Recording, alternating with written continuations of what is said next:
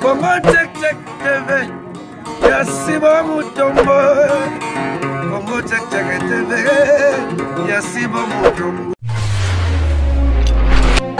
mbote na bino balandi na biso ya congo tektek bisika nyonso bozwami napesi bino mbote mingi balandi na biso e, nazokende kopesa mbote na Eh, chef na ngai mobos eh, papa mutombo sibu chef oyo asololaka bien chef oyo azalaka na ye bien eh, na balandi na biso nyonso oyo bazotala biso lelo na metro na bandako na bango na bisika nyonso 2018 eza mobu na bino ya malamu oyo eza na bapromese ebele mpe bilaka ebele totambola malamu mpo tokanye kozwa bilaka na biso nyonso na bapromese na biso nyonso lelo tokutami bongo e, na lisolo ke toujours ndenge nayebisaka bino ke mikolo oyo toza na bomwasi kote oyo toza na makambo ya bajeune fille bajeune fille baza wawa ebele bokoyoka e, moko na moko mpe na mituna ngai nakotuna biyano ekozala ya bango e lelo ngai mama josé naza awa na mituna na ngai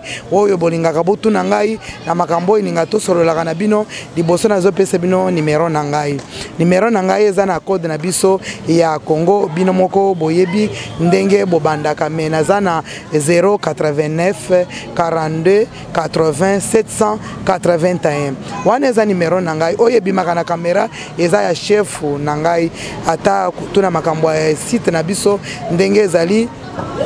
oyo bozotuna ngai mama josé boye na boye na nimero oyo ya ngai oyo ngai nalobi na monoko lelo toza na lisolo ya malamu oyo tozolobela bino na bafi oyo babotaka avant mariage nde lelo tokopartage yango na balandi na biso awawa tozokende mpo boyoka moko na moko mpe ayoka eh, nkombo eh, nyonso nazoyamba bango bolanda bonjour mama bonjour mama mama nkombo na yo nani mpo balandi bazotala biso nkombo na ngai eve mateta eh, eve mateta oyo toza na ye lelo awa awa liboso tozokende lisusu na oyo azali ya mwana mobali toza na ye awa awa papa bonjour aza oyo tozalaka na ye mikolo nyonso longola nano chapeau e tozalaka na ye papa evrad boyebi ye ye wana akoloba papa evrad bonjour bonjour mama josé lelo nayebi ke oza na ebele mpenza okoloba awa ouais, naa na ebele koloba sujet toa nango lelo kua toza lisusu na basere na biso awa awa tokoyamba sere bonjour mama josé nayebi te nkombo nani mpo balandi batala nkombo eh, bamona mpe ba... Mm, merci beaucoup mpo na parole ngai babengi nga na nkombo ya ivone kapinga toza na mama ivone kapinga eh, mosusu oyo sere na bino gina touti kosala mpe émission boyebi ye ya koloba mpe mpo baoyo batalaki mpe te bakolanda bonjour sere bonjour mama josé nkombo na yo nani nkombo na ngai gina moshinga balandi na biso nayebi ke bomoni bilenge toza na bango awa tozobanda na mituna na biso mpo na kopartage na bango na sujet na biso oyo yake kobota avant mariage tozobanda na mama na biso oyo aye akolimbolela biso mpenza mpenza eh, mama eve aza na oyo akoloba mama eve nanu bomoni ye te mais bokoyoka ye lelo mama eve mpo na sujet na biso ya bana basi oyo bazobota avant mariage mpo na yo mama ekoki kozala malamu ekozala cause ya nini ekoki kozala mpo na nini ezali malamu to ezali mabe mpo bato baza na baraison ebele ebele na oyo bango bazosala mpo na yo okoki koyebisa balandi na biso ndenge nini merci beaucoup mama josé mpo na parole opesi ngai mpo na ngai opinion na ngai na bafio bazobota avant mariage eza mpenza mabe makasi eza na bainconvénient ebele à la longue mpo lelo ndeti ngai naboti avant mariage mobali ntango akoya mpo abala ngai akopesa bacondition ebele ntango nabali oyo natyo na ndako tata ya mwana wana atyaka makolo na ndako wana te mpo aka kotala mwana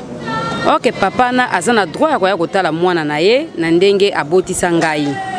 ale ekóma kaka baproblème ebele et ensuite tanto papa na bando ya kotala mwana akozala kaka oblige ta mosusu kimakango na biso e continue nakomi lokola kotrompe mobali na ngai oyo ahonore ngai atye ngai na ndako yango wana mpenza eza malamu mingi te biso bafille fo tomibomba mpenza avant mariage eza mpo na intere na yo moko personnel mpo eh, mama eve ekomona eh, fille mpe yako ozala na raison eza na bafille mosusu mpe omoni aumeli eh. libala ezoya te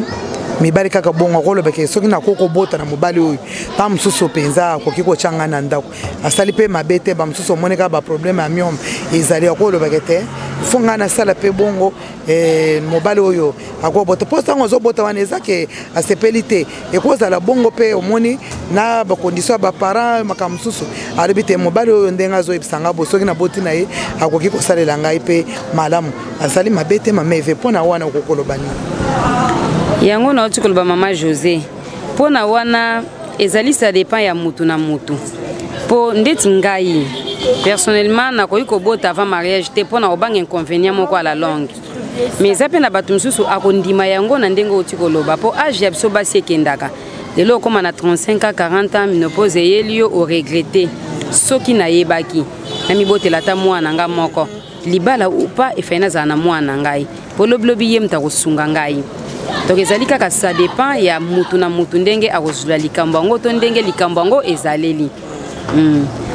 eh, nayebi ke boyoki mama alimboli na ndenge nyonso ya koloba tozokende lisusu eh, kopesa mpe maloba na sere na biso gina mpo na bafi wana bazali kobota bongo mpo na yo ekoki kozala mpe bien mpo ntango mosusu tokokondane nyonso te ekozala mpe bien eh, na bapromese ya papa eh, nyonso ekozala bien mpo na yo mpenza ekoki kozala bien oyo to ekozala mabe mpo na yo mamaji hmm, mpo na ngai eza mabe te na condamne bafi wana te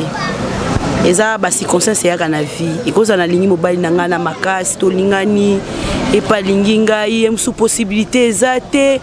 akoya bapara bapanga na biso molati ete eh, bona bomolingi mobali wana ah, zemeye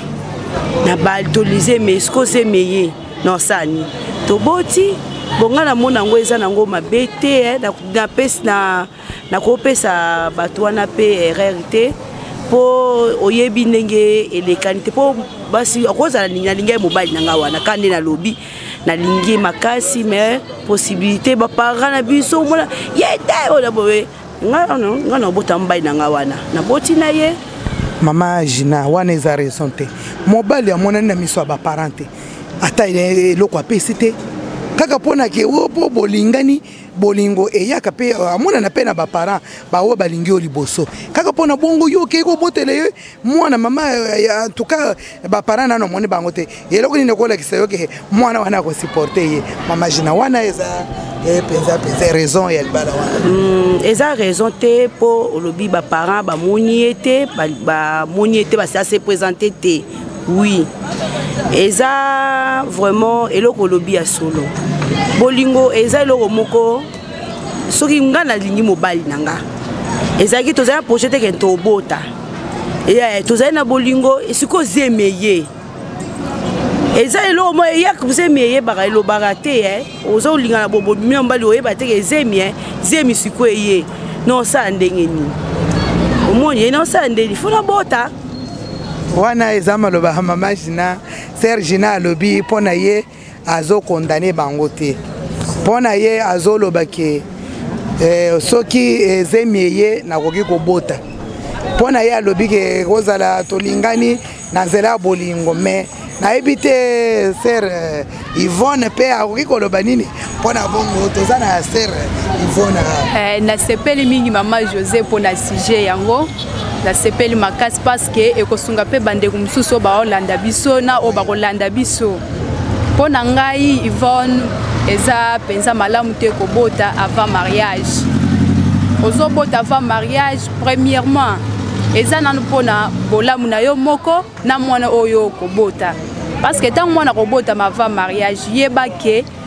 bapara na yo para nyonso ntango azokolisa mwana faut donc aza na espoir moko boye azozela ke mwana na ngai nakolisi mwana na ngai ya mwasi un moment akoki kotangisa mwana mwasi un moment libala mpe eye mwana abali epesaka mpe eh, esengo mingi na kati ya foyer ya, ya, ya nani ya mwasi eke amoni yo basutuki boye mwana okomi na zemi ah yo zemi ekomi ndenge nini tomoni mobali te oye kopresente mobali awa te mai okomi na zemi donk epesaka bapara bakanda ere moko boye okoki kobota mwana wana ozomona mwana bakomi kosabote ye na famille ah, mwana nini eh, papa na ye ah, honore yo te esali eh, boye te donk ebendaka mpenza mwa mindondo na kati ya famille mpo na aspect ya foyer euh, en plus yo mwana mwasi nakoki kotolere te mwana mobali moko boye awuta soki wapi ahonore yo te aye na kati ya, ya famille na bino te me okomi ntina mpo ya koke kozwa zemi eza mpenza malamu te d'ailleurs selon la bible même bible elobi ke moto akoki kobota avant mariage te moto nyonso akobota dans le mariage donc euh, mobali aye ase présente epai na bino basali biloko nyonso esengeli kosala basali mariage coutumier ndenge esengeli mama nalingi nazongisa moke mpo na kobosana ah. wana ozobanga mpo na ke baparent mm. bakoki kobenga mpo eh oyo eza nzela ya bolingo bolingo ntango eyaka ekoki koyebake baparent bakotala te bolingo ekoki koyebake o oh, te boye na boye te bolingo ezwaka epuis eh, ntango bokomi kosala yo na mwa mobali bokomi lokola mwasi na mobali wana okoyeba lisusu ke te ezalaki mpo na boyeboye te ekomi na nzela ya bolingo mais yo okoki kobanga baparent te age mpe totali mwana mwasi atali age mpe apusani mobali yango bolingani mbongo mpe ezoya te olobi nzela oyo tokoki kosala bongo mpo na euh, modele wana ohonore baparent te okoki kokenda na mbangu mbangu ke nazwa ata zemi mpo na nzela ya zemi okomona mpe solution okomona okokende mpe epai na yo na ndenge wana nde tokobanga baparent mm, mama josé nakoki koyebisa yo ke na basi oyo bazosala bongo eza kozanga patience na vie mwana mwasi nyonso ndenge tozokola boye toyebi ke un jour nakobala mwana mwasi nyonso ayebika ndenge nazokola boye donc ezala epa mwana mobali ezala epa mwana mwasi ayebika ndenge nazokola boye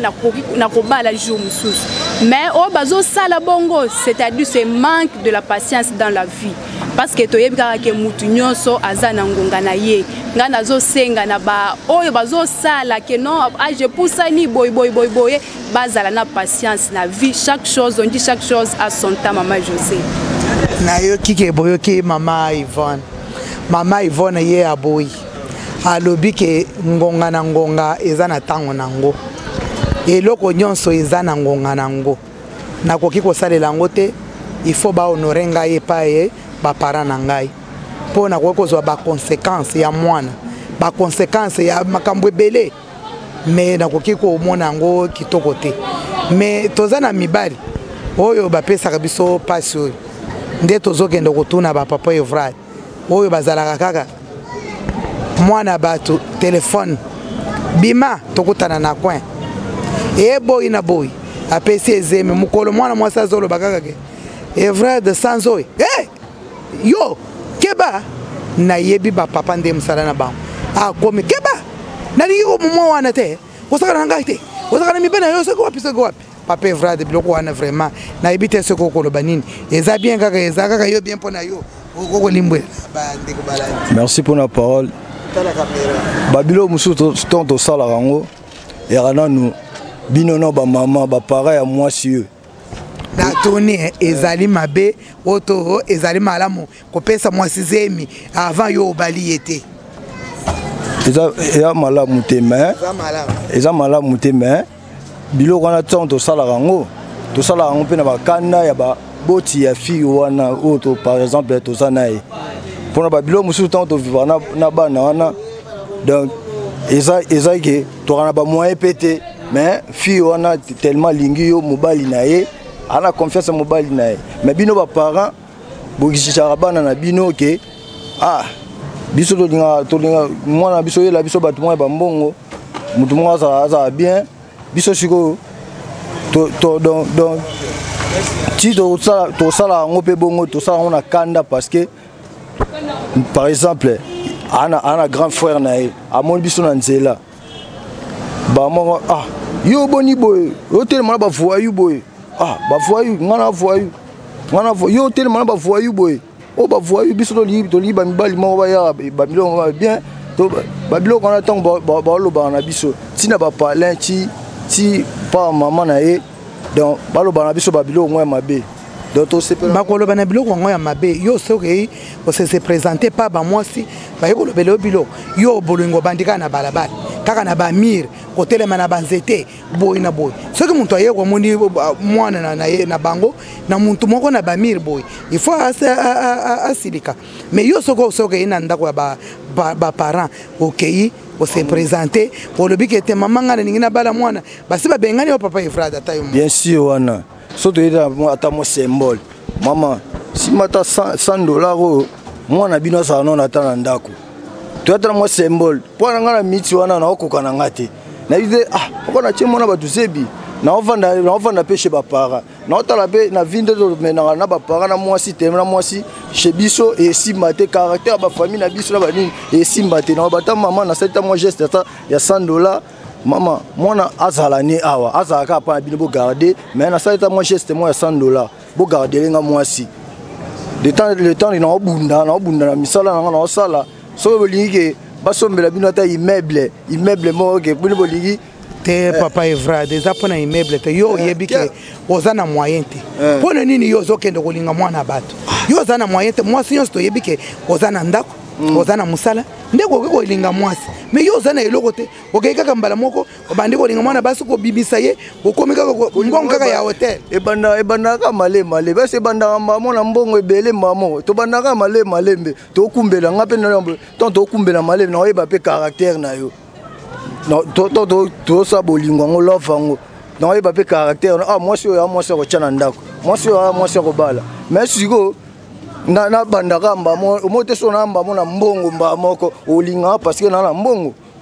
olinga nga olinga mpo na na mbongo bongo ntango yo naoyeba nde mutu ata baboyi yo eh. ozokoma ti na kopesa mwana bato zemi opeseli ye mbongo te wana eza malamu te ya malamu te wapi mama erere eyaki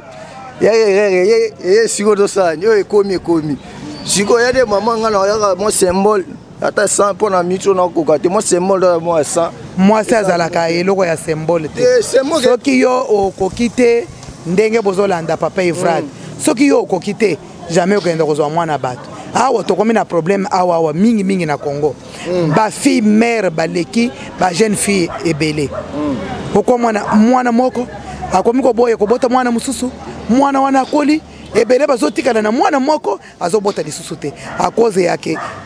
baye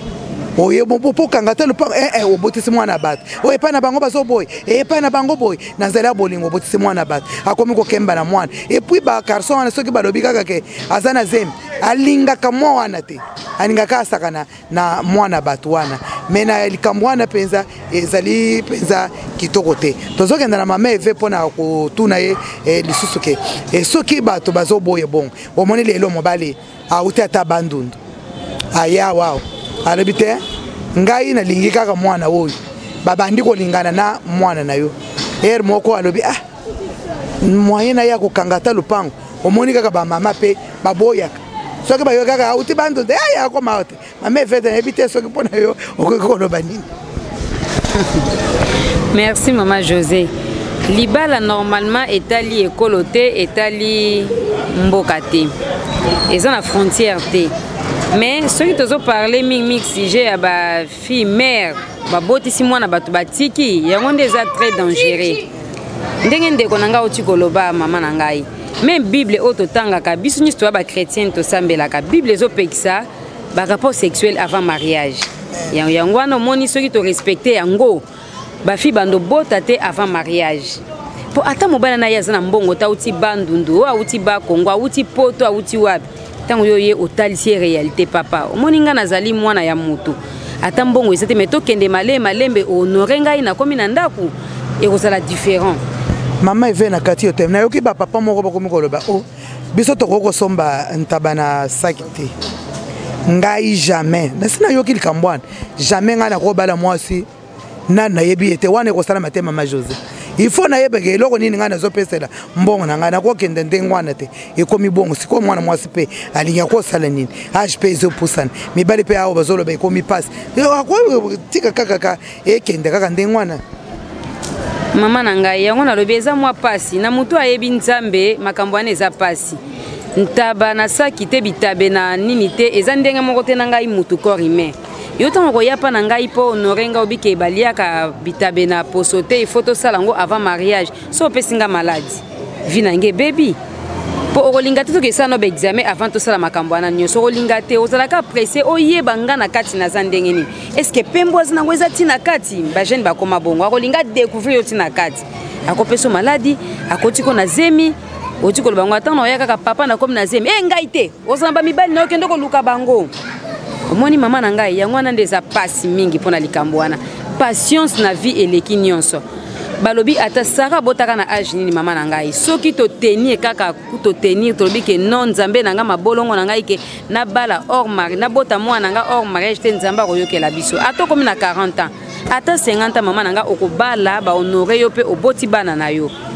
mama eve elikambo wana eza mwa mpasi mwana mwasi akomona mpe moto omoni moto aye poto alobi ngai nauti poto naye koluka mobali mwasi awa ah, avant ngai nakomona na baparent na yo aye mpe apesi mpe mwa enveloppe akangi lopango bongo mwana mwasi akotika kaka eh, mama eh, ivone ata yo moko moto auti poto wana mpenza mpenza akangi lopango ndenge ozoloba ke fo akanga lopango sikoyo eh, yo okoki kotika bongo ya alobi ke fo tozala mwasi na mbele yo kotika Maman José, en tout cas, n'a koki ko contredire maloba nanga ata mukete. D'ailleurs, na mobali, mobali nyoso ndenge tozo mona bango boye, ata bobombelaka biso secret wana. Mobali ndenge azo tambola boye alukaka ayeba eloko ebombami. nakoki kopesa exemple ke soki ezalaka nzoto na biso ya basi oyo eza na elongi awa mbele mposa wana ezalaka kutu ata te mobali nyonso alingaka kaka ayeba nini eza kuna me kasi soki mobali aye mbala moko abandi kosenga ke no nga avant euh, nabala yo il faut euh, tosangisa na yo nzoto antuka nazomona aza libanda makambo mama mobali nyonso alingaka ayeba nini eza kuna parceke ebombami fo nanu kobomba eloko wana avant mariage oyo eloko bazoluka eza eloko oyo ebombami eza mbongo mais ngai nazoyebisa bino ke namonaki couple moko bazwani bapesi mbongo te mama aboti bana misato papa azalaki na mwa mwaye te bato balobi e eh, azobotisa mwasi pamba aza na eloko te mais papa aye kosimba mwa mbongo papa aye kohonore mwasi aye kosala makambo nyonso bakomi na bana lelo couple wana eza bacouple moko ya kitoko bato bakendaka bakomi kopesa baexemple wana ekoki kozala mpe oboti opesi mwana bato zemi aboteli yo mwana ekoki kolobaki soki aboti mwana nde vi wana esili te eloko wana eza mabe na bana mibali soki moto ayebi soki aza na zemi omoni lokola esuki esuki te il faut kaka osoutenir ye na mwa zemi wana osali tu mpo okende kobala ye na voi normale mpo baparent na ye basepele yango tozozonga mingimingi na bana mibali sikoyo papa evrad yo mpe ozolobake tozosala bongo mpo na baparent bayoka bien mais yo mpe okozala na baleki na yo basala bango bongo yo okoki kosepela hmm, nasepela te mais eh, biso babiloko wana ti mpe ntango esalamaka mpo bajeune ebele hmm. yaka bamoment moko donc eyokuta jeune moko ke na, na piaka moko boye yo sikoyo ana oresone makambo mosusu wana eloko te yebisa sikoyo makambo ya zemi e mosusu mpe mpo na miniti oyo mpe biso biso mpe bachel tokendaka mpe kote mwa peti wana bo wana bo nini peti wana miniti oyo tokoka te eh.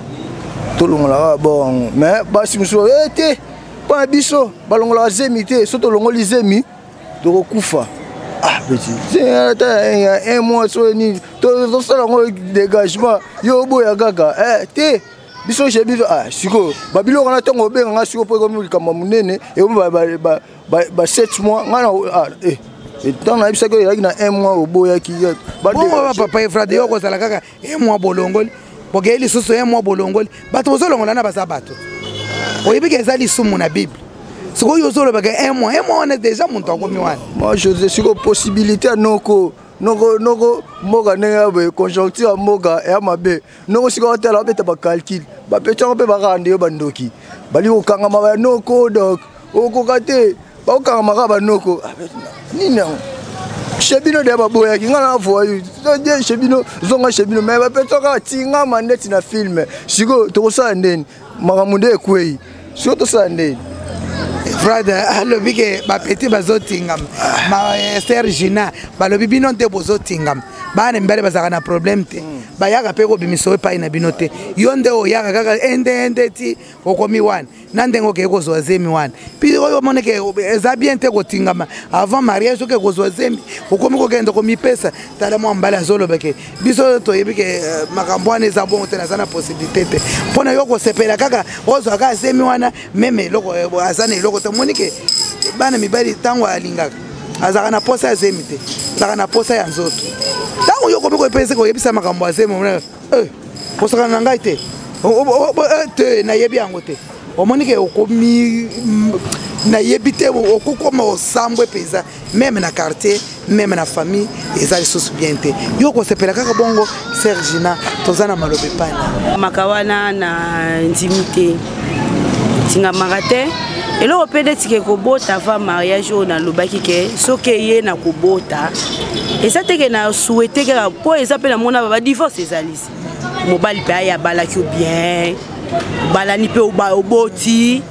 mais divorce wana eye kosalama mpe boboya na mobali wana sikoyo bana wana baa bana te na oyo mpe obotaki ana na obali mpe te baka bana eza mpona ke kotingama te mpe mobali ntango ase présente mpa na ngai namoni ye mpe aza bien mosu natali ana ah, mobali oyo nde naza boye nde namoni ye nakona na koze meye mosusu toye mpe mosusu be tobalani mpe te me tosolola mpe aya mpe biso mpe asala baprésentation ah,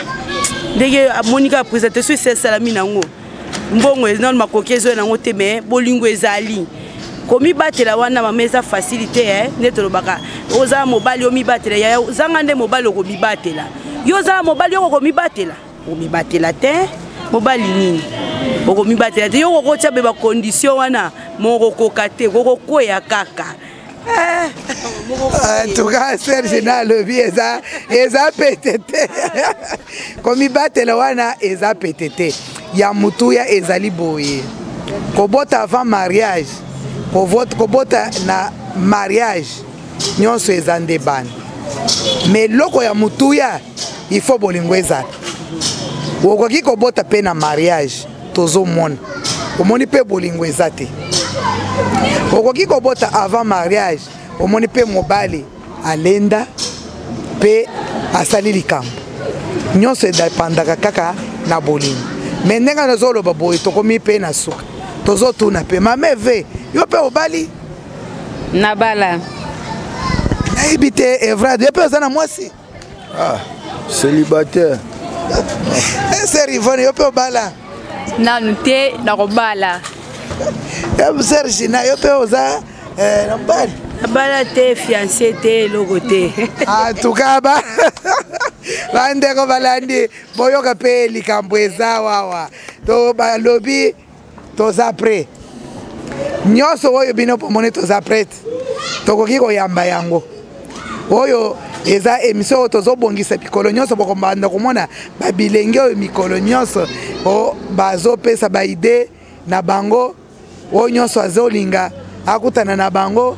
akobenga mama josé nazali awa kaka mpo na koyamba oyo mpe aza na sujet apesi akomona kaka mama josé abengi naza prête mpo na koyamba ye emission na biso tokomi na suka ya emission mpo na mokolo ya lelo tozopesa bino bambote mingi e mama bibishi kalonji e mama ya papa brino mbayabo napesi yo mbote mama batela bana malamu olanda baconseil oyoka bapeti na yo nazopesa mama ebengo leonie mama oyo aza mwana ya mama na ngai aza na allemagne précisement na bonne mama oza mwana mama na ngai nakoloba nini balandi na biso nyonso papa mokanya wa mokanya na italie die madone mbota yango wana e, balandi na biso nyonso bisika bozali bozomona biso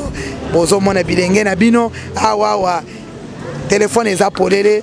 mpo na koyamba bino mpo na koyoka mituna na makambo nyonso bolingi bokutana na biso baoyo bazalaki na posa ya emisio ya liboso na bato oyo tozalaki na, na emisio ya liboso bokobenga bana nyonso oyo toza na bango awa tokopesa bino banimero na bango ntango yo okobenga nayebi te na kati na biso awa moto moko akozala na moto na ye akopesa ye bambote toyebi te eh, papa evrad moto azali ah, moto azali napesi koko na nga mushiya mbote esika azali na belgique ayebi te mama eve libanga moko ezali na motu moko napesi kaka bafani na biso nyonso babizo ebele bakontinue ya kolanda biso na émission oyo bakosepela bakozala desu te